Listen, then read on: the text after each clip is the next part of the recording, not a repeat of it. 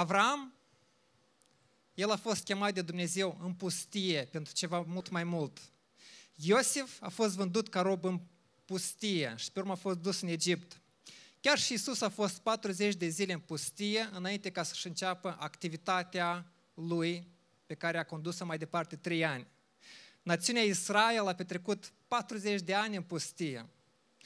Și toate acestea erau școlile lui Dumnezeu sau școala lui Dumnezeu pentru ei. Erau niște lecții foarte importante pe care ei puteau să le învețe doar acolo. De ce pustia? De ce Dumnezeu alege pustia de multe ori pentru noi? Și vom vorbi astăzi despre națiunea lui Israel. Și știți, în Biblie scrie că este bine să învățăm de la ei. Adică ei au făcut multe gafe ca națiune și individual tot, dar ca națiune au făcut multe gafe, multe prostii au făcut în istorie, multe lucruri greșite, multe lucruri bune au făcut. Și în Biblie este încurajarea să învățăm de la ei, să învățăm din ceea ce, de pe grebile lor, din greșelile lor. Și astăzi vom încerca să învățăm din anumite greșeli ale lor. Dar înainte de aceasta vreau să aduc un mic context legat de națiunea Israel. Deci, națiunea Israel la început era foarte mică. Erau vreo 70 de oameni. Și eu spuneam că Iosif a trecut prin școala pustiei. Ei bine, Iosif era unul din acea familie.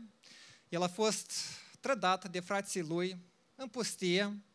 A fost vândut la niște egipteni. A fost dus la niște izmaeliți, de fapt. Și el l-a vândut mai departe în Egipt. El acolo a fost o perioadă lungă de timp, mai mult de 20 de ani. Și în cele de urmă, în întreaga împrejurare din părțile acelea. A fost o secetă foarte mare și pe urmă a fost o foame foarte mare. E bine, Iosif, așa Dumnezeu a făcut că el a ajuns prim-ministru în Egipt. Prin mai multe etape mai dificile, dar în cele de urmă a ajuns într-un loc al doilea după faraon. Și el avea grijă de toată hrana care era în împărăție. Și în cele de urmă, el și-a salvat familia. Cei care l-au trădat, el pe urmă i-a salvat. Erau 70 la început, au început să trăiască în Egipt, totul era bine, și timp de 400 de ani, de la 70 de oameni, au ajuns la mai mult de un milion de oameni.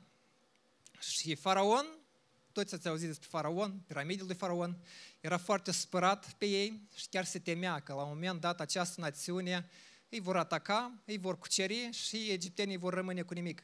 De aceea ei i-au supus la o robie, i-au făcut sclavi, i-au pus la munci grele. Și apare acest erou Moise, el s-a născut într-un mod interesant, într-un mod interesant a nimerit în familia lui Faraon, deci el trebuia să fie omorât, dar fiicei lui Faraon i-a plăcut de el, că el era copil mic, l-a luat la ea acasă, l-a crescut. Cele de urmă el a săvârșit un omor și a fugit în pustie. Și în pustie, după 40 de ani, Dumnezeu îl cheamă ca să salveze această națiune. Și toți ați auzit despre cele 10 urgii care au fost în Egipt. Ei bine, Dumnezeu prin aceste urgii și cu ajutorul prin Moise a scos această națiune din Egipt și a dus-o în pustie. N-a dus-o deodată în țara în care ei trebuiau să ajungă. Dumnezeu l-a promis, eu să vă salvez, sunteți națiunea mea. Dar i-a dus în pustie. De ce Dumnezeu i-a dus în pustie? Ce a vrut să facă El în pustie? Știți, sunt patru lecții pe care le vom învăța astăzi legate de pustie. În primul rând, în pustie nu sunt idoli. Știați că în pustie nu sunt idoli. Și acum, idol este ceva care e mai important pentru Dumnezeu decât Dumnezeu în viața ta. Idol este ceva care ar pretinde că este Dumnezeu, dar nu este Dumnezeu. Și acum egiptenii aveau idol pentru ce vrei. Râul Nil avea un idol, un zeu al Nilului, roada avea un idol al ei, fertilitatea avea un idol al ei, fericirea avea un idol al ei. Deci toate, toate elementele unei vieți obișnuite aveau idoli, aveau foarte mulți idoli, foarte mulți zei sau Dumnezei. Și cel mai însemnat, cel mai important Dumnezeu din uh, Egipt, știți cine era? Faraon. Faraon era cel mai important acolo. Și acum, știți, în realitate, aceste lucruri ca fericirea, fertilitatea, bucuria, le dă Dumnezeu. Dumnezeu dă aceste lucruri, frumusețea, sănătatea, ele toate vin de la Dumnezeu în mod real. Dar de multe ori noi atribuim meritul pentru aceasta cu totul alte lucruri. Și știți, în uh, zilele noastre noi tot, tot avem idoli. Deci pe parcursul istoriei, idolii în esență nu s-au schimbat foarte mult. Ei s-au schimbat ca formă, ca imagini, dar în esență nu s-au schimbat prea mult. Noi continuăm să avem astăzi idolii fericirii. Și acum e și mai rău. Atunci aveau un idol pentru fericire, alt idol pentru fertilitate, acum noi pentru fericire avem vreo o mie de idoli. Cum poți să vezi? Uitați-vă la reclama de la televizor. Dacă cumperi acest produs pentru față, cremă pentru față, vei fi fericită mai departe. Dacă cumperi acest produs, în familia ta va fi pace și sănătate. Dacă faci aceea, dacă vii acolo, dacă te duci încolo, vei avea fericire. Dacă primești mai multe like-uri pe Facebook, vei fi într-adevăr fericit și împlinit. Dacă ai mulți prieteni pe Facebook, tocmai atunci vei avea o însemnătate anumită, vei avea împlinirea personală. Dacă vei avea un prieten sau prietenă, iată atunci viața ta va fi semnificativă și tu vei fi împlinit interior. Toți aceștia sunt idoli. Noi ne bazăm fericirea noastră prin niște uh, oameni sau lucruri sau produse și noi credem că aceasta ne aduce cu adevărat fericirea. Știți, a te încrede în idol sau a te gândi că de la idol vin aceste toate, e ca și cum ai conecta un telefon mobil la o priză care nu are curent electric. Tu conectezi, crezi că telefonul se încarcă, dar el se descarcă și mai tare. Și nici nu-ți dai seama că telefonul tău moare. Idolii, în esență, ei n-au viață în ei. Și atunci când te încrezi în acești idoli, atunci când apelezi la diferite surse omenești, după fericire, împlinire, bucurie, stabilitate emoțională, tu crezi că ei te ajută, dar de fapt te distrugi, mori încetul cu încetul și în cel de urmă ajungi fără viață în tine. Este așa un idol, se numește Bacchus. Știți de ce este idol? Bacchus. Bine, este zeul vinului, dacă cineva nu știa. El promite fericire doar să consume în mod regulat. Și oamenii consumă produsul de la acest Bacchus, se îmbeată, se îmbată, se îmbeți, este o doză de fericire, a doua zi le pare rău, dar doza trebuie să din nou ca să fii fericit. Și tot așa omul ajunge la o autodistrugere extraordinară. La fel și cu drogurile, și cu rețele de socializare, și cu multe alte lucruri. Ele promit ceva și în cele de urmă nu dau. Și ca Dumnezeu să învețe națiunea lui Israel că nu de la idol vine toate acestea. El a dus în pustie. Știți unde apar idolii? Acolo unde deja sunt multe lucruri. Idolii nu apare unde nu este nimic. Idolii apare unde este deja sănătate, bucurie, fericire, familie, finanțe. Acolo apar și idolii. Ca paraziții. Paraziții apar acolo unde sunt organisme vii, unde organismul tău e sănătos și întreg. Ei nu apar unde totul este mort, totul este pustiu. Și în pustie Israel învăța că este un singur Dumnezeu care oferă toate lucrurile. Există un singur Dumnezeu care dă împlinire emoțională, care dă bucurie, care dă încredere, care dă tot de ce ai nevoie. Și aceasta înveți doar atunci când idolii dispar. Și în perioada de pustie înveți că Dumnezeu este Dumnezeul adevărat. Al doilea lucru care nu-l vei găsi în pustie. În pustie nu sunt resursele omenești. Resurse omenești în vedere apă, mâncare, loc de trai. Deci ele nu sunt. Nu este pâine, nu sunt clătite, nu este magiun și așa mai departe. Israel și-a dat seama de aceasta, i-au flămânzit și au început să supere, Doamne, murim, vrem să mâncăm, vrem în Egipt, acolo era carne și ustroi. Și Dumnezeu face minune. Într-o dimineață face ca să apară pe nisip niște granule așa, ca un fel de orez, cu un gust foarte interesant. În Biblie scrie era un gust de coriandru. Și a apărut din cer. Și evreii, cum au văzut aceasta, au întrebat, ce e asta? Știți cum se traduce ce e asta în limba ebraică? Mana. Mana înseamnă ce e asta. Și așa și-au pus denumirea acestei mâncări. Mana, mană din cer. Și această mană din cer, Dumnezeu dădea în fiecare dimineață. Deci El nu dădea multă mană, ei să strângă în saci și să aibă pe mult timp înainte provizii. Dar dădea dimineața, soarele apărea, el se topea și nu mai era peste zi. A doua zi dimineața trebuiau iar să strângă. Era o zi de odihnă în care uh, Dumnezeu spunea să strângeți pe două zile, că următoarea este ziua de odihnă și voi trebuie să vă odihniți în acea zi. Dar în rest, în fiecare dimineață trebuiau să strângă acea mană și în aceasta Dumnezeu vrea să învețe, de la mine vin toate lucrurile. Eu sunt cel care dau toate lucrurile bune pentru voi. Nu este nimeni altcineva. Noi de multe ori ne gândim, am lucrat și am pâine, bani, apă în casă. Datorită puterii mele am agonisit toate aceste lucruri. Datorită minții mele strălucite, am această mașină frumoasă. Datorită că părinții mei sunt bogați, am și eu bani. Și noi trebuim la oameni, la lucruri și multe altele din jur, meritele pentru ceea ce noi avem. În realitate, toate lucrurile vin de la Dumnezeu. Și ca națiunea Israel să înțeleagă aceasta, Dumnezeu i-a dus în pustie, unde nu era niciun resurs omenesc. Tot ce aveau venea de la Dumnezeu. Dumnezeu le-a dat și apă într-un mod miraculos. Moise a lovit într-o piatră și de acolo a țâșnit izvor de apă, ei toți au băut. Sigur că ei permanent erau nemulțumitori și cărteau și murmurau, dar Dumnezeu în pustie a învățat că tot ce este vine de la Dumnezeu.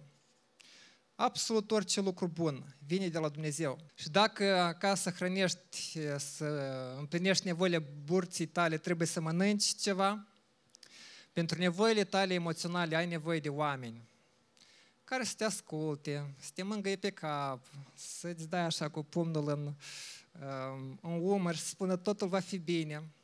Noi avem nevoie de așa oameni în viața noastră. Avem nevoie de ei. Și de multe ori ne bazăm mai mult împlinirea noastră emoțională pe ei decât pe Dumnezeu. Și știți ce face Dumnezeu ca să te învețe? Că până și împlinirea emoțională absolută, cea mai bună vine de la El.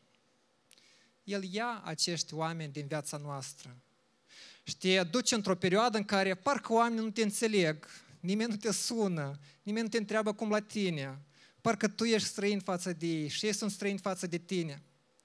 Și în aceste perioade, ceea ce vrea Dumnezeu să te învețe, e să apelezi la El pentru împlinirea emoțională, pentru hrana ta emoțională, personală. Voi povesti câteva istorii din viața mea. Apropo, eu am trecut prin școala pustiei, mai am câteva cursuri până la sfârșitul vieții de școala pustiei, încă nu le-am trecut. Dar multe le-am trecut, au fost foarte dureroase, dar cu succes le-am trecut în cele din urmă.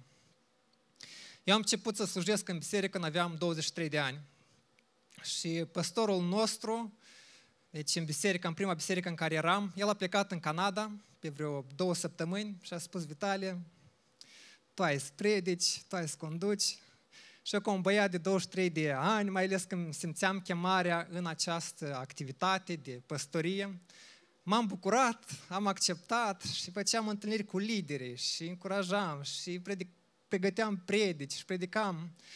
Și în acele două săptămâni s-a întâmplat așa că nu doar păstorul meu a plecat în Canada pe o perioadă, dar și mentorii mei tot au plecat. Fratele meu era, unul din mentorii mei era în America, un mentor de-al meu, antrenorul meu, era plecat în altă parte, în misiune și era ok, aveam prieteni, totul era normal. Și în acele două săptămâni am reușit să calc pe mai multe greble. Era o relație care simțeam că trebuia să o rup, să o închei. Și am încheiat am spus, gata, nu mai poate așa, așa simțeam de la Dumnezeu. Și după aceasta am început să mă simt foarte distrus, emoțional, foarte descurajat și mă simțeam foarte vinovat. Și aveam niște prieteni care trăiam la aceeași gazdă și am mers la ei și le-am spus, uite, sunt așa de frustrat, așa de greu mi este pe suflet, nici nu știu ce să fac. Și unul din ei, cum suntem prieteni până în ziua de astăzi, dar el mi-a spus, Ești cu ce putem să te ajutăm noi? Și eram în acel moment în care oamenii maturi din viața mea erau plecați, nu puteam să apelez la ei că erau departe. Atunci Facebook-ul nu era așa de dezvoltat când puteai să scrii un mesaj, deodată să răspunde. Nici nu era, era de fapt, da. Prietenii mei nu mă înțelegeau, nu puteau să mă ajute. Am ajuns în această pustie. Și eu spuneam, mai aveam de predicat o duminică și spuneam, aceasta este ultima predică, după aceasta eu plec din slujire, nu o să am treabă cu toate acestea, o să lucrez undeva în oraș și asta o să fie viața mea mai departe. Și în acea seară, atunci când prietenii mi-au dat acel feedback, e ca și cum mi-ar fi spus, du-te la Dumnezeu, ce vrei la noi. Și m-am dus la Dumnezeu. M-am dus în altă cameră și am stat în rugăciune. I-am spus, iată situația mea, sunt descurajat, nu știu ce să fac. Și următoarea săptămână Dumnezeu m-a ridicat. Acea relație am rezolvat până la urmă, a fost iertare, împăcare. Mentorii mei s-au întors unul câte cu unul și vorbeam cu ei și mă încărcam emoțional. Dar eu înțelegeam, Dumnezeu a făcut toate aceste lucruri. Numai Dumnezeu putea să-mi împlinească acest gol emoțional pe care îl aveam. Câțiva ani mai târziu, a fost ziua mea de naștere și mi-am invitat prietenii mei la ziua mea de naștere la o pizzerie și mă duc și stau și aștept în fața pizzeriei și mă uit, nu vine niciunul și mă gândeam, poate pregătesc și așa o farsă pe seama mea. Și mi-am dat seama că nu este farsă. Am început să-i sun și care spunea că nu știa, care spunea că nu poate veni. Și eram așa de frustrat pe ei. Nu știu dacă ați fost în situația în care prietenii nu vin la ziua voastră de naștere. E foarte frustrat, frustrant. M-am spărat și m-am dus acasă și ca să ajung acasă trebuia să trec printr-o subterană. Și în acea subterană cânta un, băiat, cânta un băiat la chitară. Și era un cântec care niciodată în viața mea nu l-am auzit până atunci și niciodată nu l-am auzit de atunci. Dar mi-a tras atenția foarte tare și țin minte vreo două cuvinte de acolo. Era ceva de genul, azi e ziua ta, dar nu te spăra. Și ceva mai departe de genul acesta. Și eu trec așa și mă gândesc, acest cântec mi-l cântă Dumnezeu special pentru mine prin acest băiat. Era ceva care mi-a spus, eu sunt cu tine. Eu sunt aproape de tine în această stare emoțională grea în care ești. Ei bine, am ajuns acasă, prietenii m-au sunat și au cerut iertare, m-au invitat în oraș undeva și rezolvat problema. Dar atunci când ajungi în pustii emoționale, primul la care trebuie să alergi este nu Facebook-ul să scrii un status, o afirmație de asta depresivă, dar să mergi la Dumnezeu și să-i spui, iată-mă unde sunt. Am nevoie de tine. Și Dumnezeu, știți ce face? El împlinește acel gol. Și de multe ori împlinește în ultimul moment, atunci când nici măcar nu te aștepți. Mai este ceva care nu este în pustie. În pustie nu sunt împărați. Pe acele timpuri împărații într-o țară erau tot. Și nu erau mulți împărați. Era un împărat pentru fiecare țară. Împăratul era cel la care trebuia să te închini. Împăratul era cel la care trebuia să-i dai din banii tăi bir. Împăratul era cel la care puteai să fii și slugă. Dacă el cerea, gata, n-ai venit încotro, trebuia să fii slugă. Deci el era autoritatea supremă peste țară. El făcea legile, el le schimba dacă vroia. Aceasta era autoritatea împăratului în acele vremuri. Acum, când Dumnezeu i-a scos din Egipt, el vrea să învețe altceva. El vrea să învețe că este un împărat mult mai suprem, mult mai important și unicul împărat adevărat. Și acesta este Dumnezeu. Acesta este Dumnezeu. Iisus Hristos este unicul împărat care este plin de putere, este atot prezent, este peste tot, este plin de dragoste, plin de înțelegere și El este mereu aproape de tine, este gata să te ajute, este gata să te conducă și El poate face toate aceste lucruri. Și aceste lucruri poți să le înveți numai în pustie, din cauza că în Egipt sau în altă țară sunt acești oameni care pretind a fi împărați. Și ce am în vedere prin aceasta? Ei cer închinarea, ei cer spunerea absolută și de obicei împărații sunt exclusivi. Doar eu și gata. Doar eu am dreptul asupra vieții tale și gata. Și aceștia, în zilele noastre, sunt oameni care, după cum am mai spus, ei cer un fel de supunere absolută din partea ta. Dumnezeu, în acea pustie, vrea să învețe că numai El este împăratul adevărat. Și cum i-a învățat, pur și simplu îi conducea. Îi dădea legi, porunci, îi învăța. Știți cum o făcea? O făcea prin lideri spirituali. Era Moise, Aron, fratele lui, și pe urmă Moise a făcut o sistemă de mai mulți lideri, așa încât fiecare 10 oameni avea, uh, era sub grija unui lider. Și liderii spirituali față de împărat, știți ce fac? Ei îndreaptă în sus. Un lider spiritual întotdeauna o să încerce să te îndrepte la Dumnezeu, să te conectezi la Dumnezeu. Cel nu cere închinare de la tine. Ba mai mult, se supără foarte mult atunci când tu începi să te închini Lui. Și ce am vedere prin închinare, îl scoți pe El unica persoană care poate să-ți rezolve toate problemele, să-ți împlinească toate nevoile. Și chiar te-aș încuraja să fii atent atunci când toate visele, aspirațiile, nevoile, dorințele tale țin de o singură persoană, de un om. Ești în pericol, de fapt ești în idolatrie. Toate visele, aspirațiile, dorințele sunt pentru Dumnezeu. Din cauza că numai El poate să le împlinească în viața ta. Și noi totdeauna avem tendința aceasta să ne încredem în acești împărați. Și poate să fie oricine. Poate să fie președintele țării. Atunci când creștinii au mai mult încredere în președintele țării decât în Dumnezeu, știți, să știți că aceasta este foarte, foarte greșit. Atunci când bisericile au mai mult încredere în anumiți lideri umani, limitați, mai mult încredere în ei decât în Dumnezeu, aceasta este foarte greșit. Și noi înșiși avem această tendință de a fi împărați. Și Dumnezeu foarte ușor cu asta rezolvă aceste probleme. Era așa un împărat, îl chema de Nebucadnețar. Era un împărat a unui imperiu mare, se numea Imperiul Babilonian, ați auzit despre el la istorie. Și Dumnezeu odată era, i-a dat așa un avertisment. Uite, tot ce ai, eu ți-am dat. Puterea, împărăția, eu ți-am dat. Să fii atent să te mândrești, că ai sperzi totul, totul. Și într-o zi iese afară, se uită la împărăția lui, cât se vedea, și spune, eu am făcut asta. Și în acel moment, Dumnezeu deodată l-a și pedepsit, el a devenit nebun de cap, nu mai lucra mintea lui, era ca un animal, mânca iarbă ca animalele, trăia undeva prin pustietate și nu mai, nu mai era capabil să conducă împărăția cum putea până atunci. Și a, așa a dus-o șapte ani. După șapte ani, el s-a smerit și a spus, există un singur Dumnezeu adevărat, Cel care dă toate lucrurile, Cel care este absolut în putere, Cel de care depind toate lucrurile, s-a smerit așa de tare și Dumnezeu știți ce a făcut? L-a ridicat înapoi. I-a dat poziția care o avea și el mai departe mergea cu acest spirit smerit că există un singur împărat adevărat și mă spun lui. În viața mea am avut și eu o tendință de aceasta de a o face pe împăratul.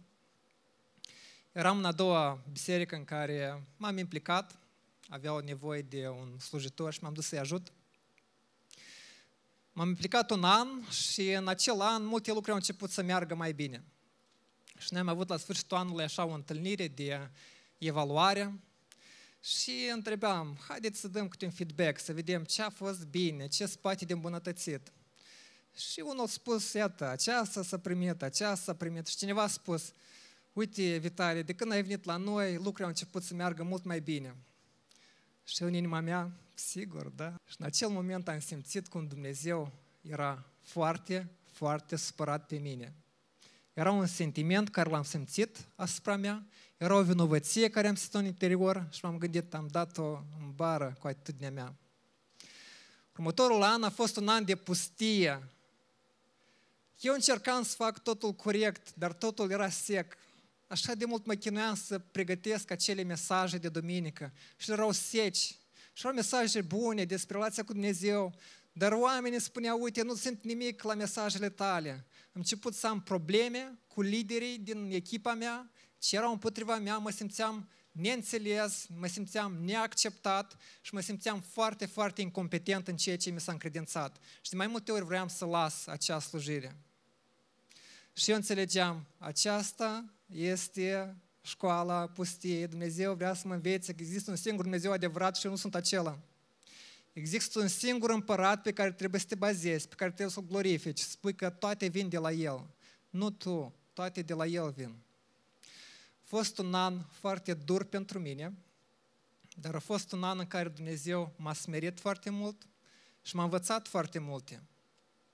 După acel an am avut primul nostru botez la acea biserică.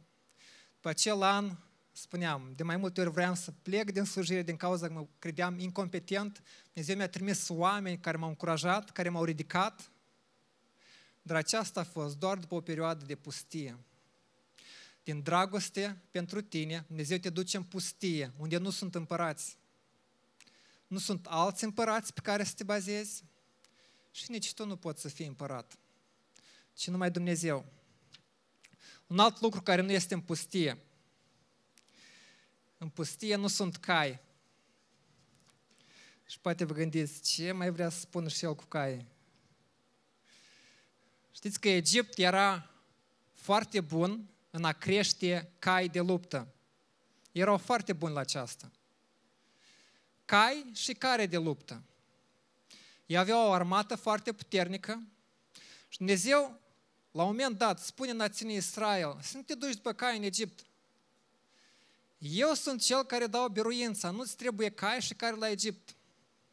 Să te duci la Egipt, să iei caii lor și pe urmă să ai biruință. Însemna după aceasta să spui, datorită Egiptului eu am această biruință. Și dacă spui datorită Egiptului, acolo includeai toți idolilor, toți Dumnezeilor.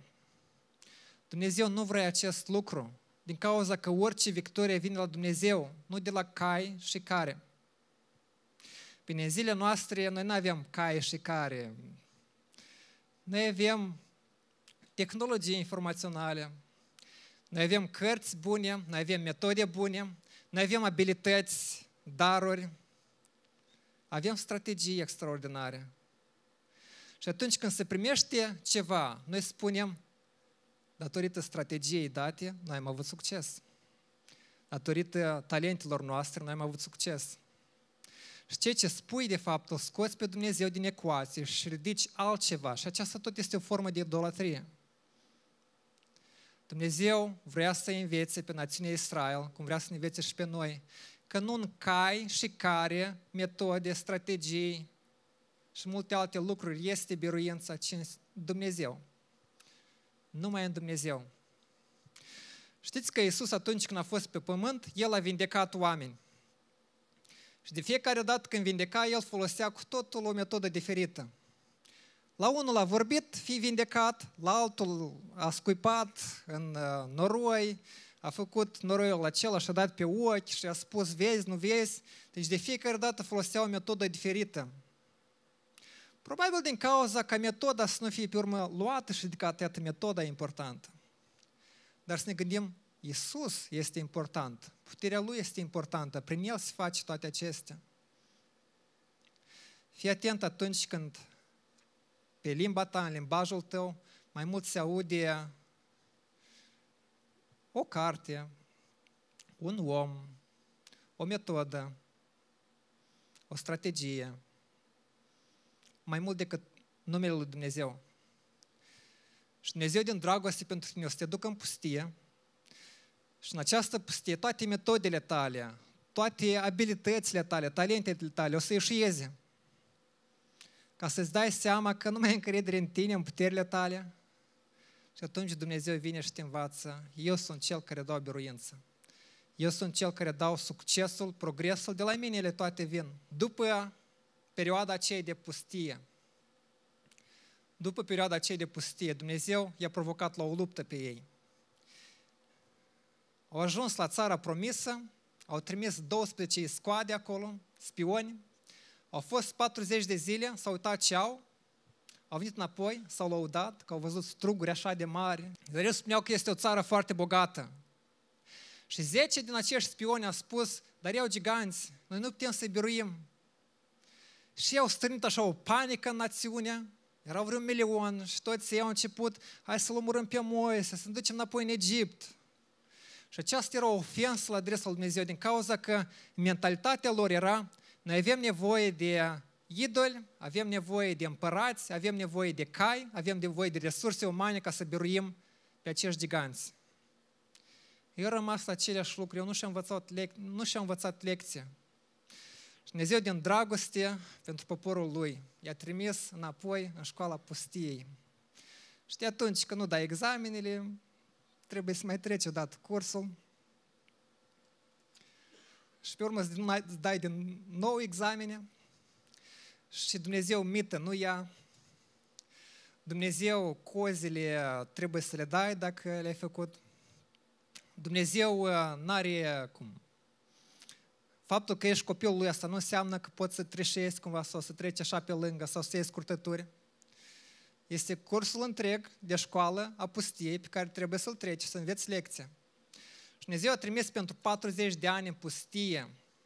Și în, acest, în acești 40 de ani, în fiecare zi primeau mană din cer, în fiecare zi nu mai vedeau idoli pe acolo, în fiecare zi nu aveau cai, în fiecare zi nu aveau împărați omenești, aveau un singur împărat, Dumnezeu. Și le învățat să aibă încredere în Dumnezeu în toți acești ani, în toți acești 40 de ani. Și am mai avut câteva lupte în pustie. Și uitați-vă, n-au ieșit cu săbii, cu scuturi din Egipt. Nu aveau nimic, nici cai, nici care. Dar ei au, au, au avut multe biruințe. Și prima biruință mare, știți care a fost? Ei au trecut prin Marea Roșie, Dumnezeu a despicat marea, ei au trecut. Pe urmă, armata egipteană se fugărea după ei, o armată foarte puternică. Dumnezeu a închis marea înapoi, a necat și gata. Aceasta a fost biruința. O altă biruință, Moise trebuia să stea cu un toiag în mână, cu mâinile în sus. Și dacă dădea în jos, erau slabi, pierdeau de la armată. Dacă ridica Moise mâinile în sus, ei biruiau. Și așa au biruit alt, altă bătălie. Și după acești 40 de ani, toate națiunile care erau în jur se temeau de ei. Această armată de evrei, fără cai, fără care, toți se temeau de ei. Nimeni n-au ieșit să-i ataci, că se temeau de ei. Știți de ce se temeau? Eu au înțeles care este sursa adevăratei biruințe. Dumnezeu vrea ca noi să ieșim în această pustie cu mentalitate de învingător. Știți, la Dumnezeu nu-i chestii de este, principalul să particip, nu contează biruința, principalul să particip și așa mai departe. Dumnezeu este un Dumnezeu al biruinței. Dumnezeu este un Dumnezeu al încurajării. Dumnezeu nu se împacă cu pierderea. Tu poți să te împaci cu pierderea. Dumnezeu pierderea nu există. El gândește ca un biruitor, El este biruitor și El pe tine te pregătește să fii biruitor. Și El vrea să te învețe că biruința vine doar de la El.